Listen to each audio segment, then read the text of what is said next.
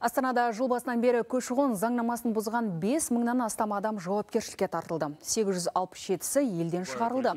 Шетелдіктерді шақырған және олардың елде болу ережелерін қамтамасыз етпеген үшін 1 мың адам айыппұл төлеген.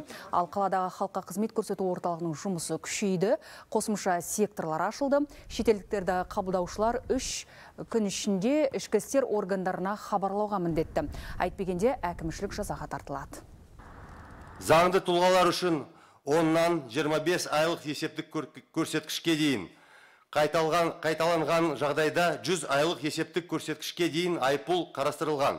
Бұл 306 мың теңгеге тең.